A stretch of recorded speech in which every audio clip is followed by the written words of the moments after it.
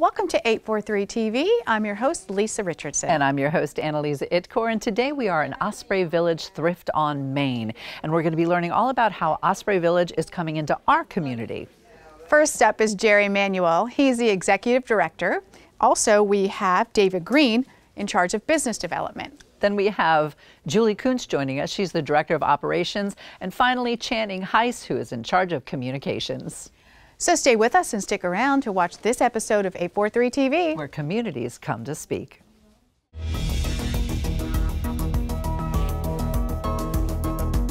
Eight four three TV, where the Low Country comes to speak.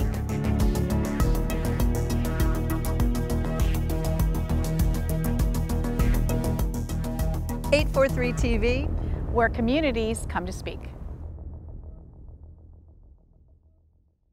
Welcome to 843 TV. We are here at the Osprey Village Thrift Store on Main, which is a fantastic place, and we can't wait to look around later. Yeah, I've already started shopping. and joining us today, we're going to be talking with some of those involved. And first up, we have Jerry Manuel. He's the executive director. Jerry, this is a very special place, a very special project. Can you just share a little bit about what is Osprey Village? What is its goal and mission? The mission is to create a village with a purpose and that's why we want to develop out in the uh, area outside of uh, Bluffton and, and, in Jasper County, across from Oldfield, our village for people with developmental disabilities, to have the opportunity to live and be in a place where they're free, open, sharing of themselves with their neighbors and friends, other family members, and be able to part of their community.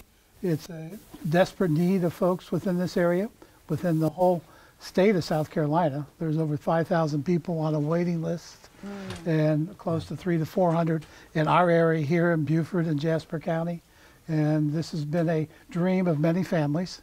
It's taken a long time to get to where we are, but we're on the, on the verge of being able to develop this community. Wow. So the community helps those with physical disabilities? As well as mental disabilities okay. as well gives them opportunities to work, to be employed, to do all kind of things that they need help with. Sure. Over the years, people with disabilities were put in institutions, were put aside, left at home, mm. and and many of our folks work in the community now, and more that want to. And of course, if you know anything about our area, there's a need for workers, yes. and our folks can be a big support to this, as we have seen our folks be placed in Publix, Kroger's, other uh, areas of McDonald's, working within the community, working through the PEP organization.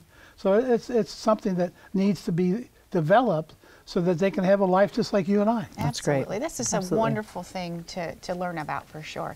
How did you get involved? Well, I, I, I moved uh, here. Blame me, yeah. yes. I moved here permanently to retire five years ago from Ohio. Just like half a Hilton Head. Yes. Yeah. uh, as I found out. But we uh, had visited here many times, you know, over the years.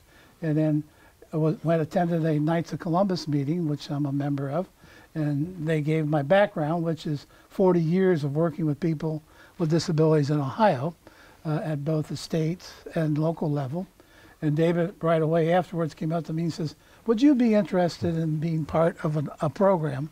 So I volunteered. And from that, the board has asked me to step in in the role of executive director to complete the process and complete their mission uh, over the next few years. So it's been exciting. That's great. Now, I, I, understand that there's a new project in the works, the neighborhood development. Right. Can you update us a little bit on that progress? Sure. As I mentioned earlier, we had land donated to us late last year out in the uh, East Argent Development Project that's going on across from Oldfield uh, Plantation uh, a gentleman by the name of Jack Fisher out of Atlanta, inland capital, donated 63 acres of that area to us to build on 25 a community that would be integrated within all the other aspects that's going to go on out there to the, the Y, the other stuff will be built around us and part of that. Uh, and right now we're just waiting for, of course, this happens with any project, city to complete all the the plans and the approvals so that the road can get completed sure. and we can start our infrastructure. So we're hoping 19 will be our big year to begin.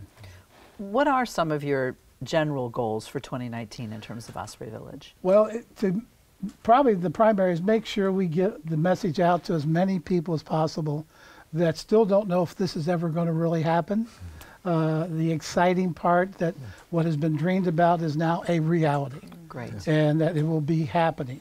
Secondly, then to find investors, people who are interested in supporting this as a planned development that we hope will be not uh, in debt, but able to be fully paid for through donations, state matching grants, and share that message and make it not only profitable, but a local initiative. Great. You mentioned there's three or 400 people on a waiting list.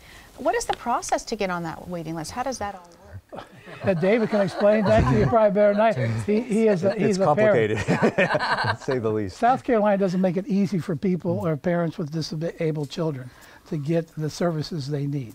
Uh, eh, right now, you have many families who are worried about their educational process within the Sure. schools, but no one is preparing them for when they turn 18. Yeah, what and when they point. become Yeah, adults, uh, the families don't know where to turn.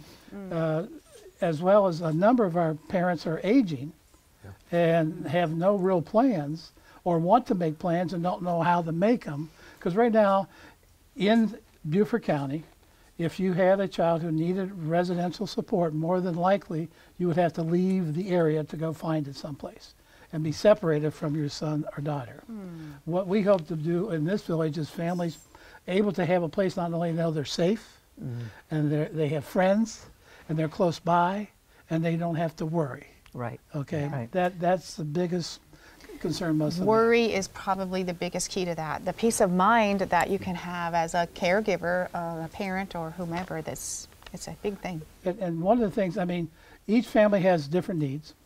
Each family has different ideas of what they want. But our village will be able to be addressed by them of what they want, not what we want them to do. That's the uniqueness of what we're trying to do. We're not putting them all in one place Right. to do all the same things. They're all going to have their individual lives. They are going to have choices. They're going to be part of a community sharing their wealth and their abilities within the friends around them. And it's it's a it's a concept that we get uh, on our website many questions around the country. Is this really real? Is it really going to happen? Can we be part of this? Right. How do we get on the list? I mean, talk about not only our local folks, the amount of people that inquire about how to uh, get on our list. I mean, all the visitors that Hilton Head has. Sure. Uh, we get a lot of folks from Ohio who bring their children with disabilities, and we find out uh, from them they would like to live here, but they don't have a place for their son or daughter. Right. This and is now they have an option. So much more to address here. Oh, and We're very excited to talk to some other people that are involved We're with the program. So we will be right back with more 843 TV. Thank you.